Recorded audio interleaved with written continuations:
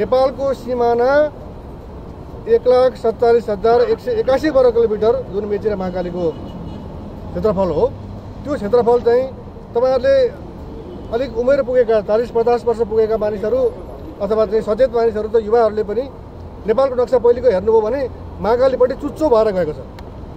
त्यो चुच्चो आज छैन। तर त्यो चुच्चो छ तर कहाँ छ? भारतमा छ। महाकाली नदीको स्रोत चाहिँ लिम्पियाधुरा हो। तर त्यहाँ कालापानी लिपुलेक अहिले भारतको हातमा छ।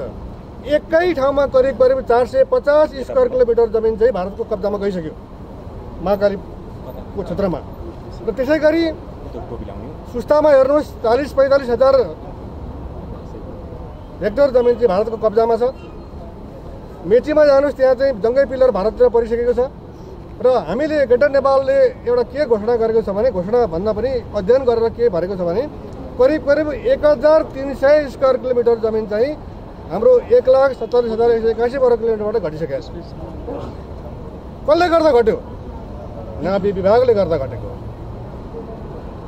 भारतमा देशको सिमानाको रक्षा गर्ने दायित्व रक्षा मन्त्रालयलाई दिएको छ तर नेपालमा नेपालको रक्षा मन्त्रालय खसी काटेर मासु भात खान्छ देशको सुरक्षा गर्दैन।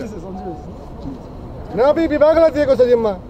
नाप्ने कति भयो हाम्रो जमिन भनेर भन्ने तर नापी विभागले जनताले के गर्छन्? हामी टेक्निकल टेक्नोलोजी थाहा पाएका मान्छे हौँ। टेक्निकल कुरा हामीलाई थाहा छ। त्यस कारणले प्राविधिक कुरामा जनतालाई ध्यान छैन। अनि हामीले जे भन्छौँ त्यही हुन्छ भनेर उहाँहरूले पटक पटक नेपाली भूमि भारततिर पार्दै जानुभयो। पहिले मेचीमा धेरै ठुलो भूभाग। यतिसम्म लाजमर्दो कुरा कि एउटा इन्टरभ्यूमा चाहिँ त्यति बेलाका प्रधान न्यायाधीश कृष्णनाथ उपाध्यायले के भन्नुभएको थियो भने मेरो जमिन पनि इन्डियामा पर्यो। उहाँले मुद्दा पनि हाल्नुभयो। बालकृष्ण नेउपाने वकिलले मुद्दा हाल्नुभयो। अब अहिले हेर्दा हेर्दै वीरगन्जमा पचास बिघा जमिन भारततिर पारियो। यहाँहरूले के बुझिदिनुपर्छ भनेदेखि नापी विभागका कर्मचारीहरूले कुनै न कुनै दस्तावेजलाई आधार नबनिकन कुनै पनि काम गरेका छैनन्। केही कुराहरू मिसअन्डरस्ट्यान्डिङहरू भयो होला। त्यसमा चाहिँ दस्तावेज के छ? दस्तावेजका आधारमा चाहिँ हामी कुरा राख्न सक्छौँ। जुन चाहिँ अहिले रिसेन्ट जुन चाहिँ घटना घटिरहेको छ जुन कुरा अहिलेको चर्चाको विषय बनेको छ त्यसमा चाहिँ थप हाम्रो टोली त फिल्डमा छँदैछ। त्यो फिल्डको चाहिँ विवरण हामी सङ्कलन गरेर गरिरहेकै छौँ। तथापि मैले दुईजना निर्देशकहरूलाई आजै फेरि फिल्डमा खटाउँदैछु उहाँहरूले दिएको जुन रिपोर्ट छ त्यो रिपोर्टमा त्यसको चाहिँ के भन्छ भ्यालिडिटी के छ त भन्ने कुराहरू चाहिँ उहाँले चाहिँ कु- कुन दस्तावेजलाई आधारमा काम गरिराख्नु भएको छ त्यसलाई पनि थप त्यसको प्रतिवेदन पनि लिएर आउनुहोस् भनेर मैले खटाइसकेको अवस्था छ। अब मैले संक्षेपमा के भन्न चाहन्छु भने जुन क्षेत्रमा अहिले कुरा भएको छ त्यो पचास बिघाको कुरा होइन। एकदमै थोरै।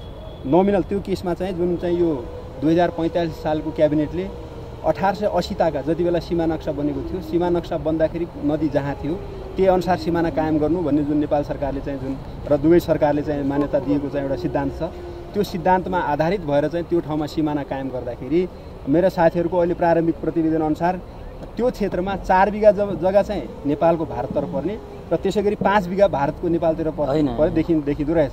तपाईँ मैले प्रमाणको आधारमा भन्दैछु मैले। तैपनि अब हाम्रा साथीहरू फिल्डमा जानुहुन्छ। हामीले जुन सेक्टरको अहिले चाहिँ विवादित कुराहरू छ त्यो विवाद उहाँहरूले थप छलफल इन्फर्मेसन लिएर आउनुहुन्छ। हामी चाहिँ तपाईँलाई सेटेलाइट इमेजमा सिमाना राखेर यहाँनिर छ भने उहाँहरू आइसक्यो त्यसरी पनि तपाईँहरूलाई हामी देखाउँला।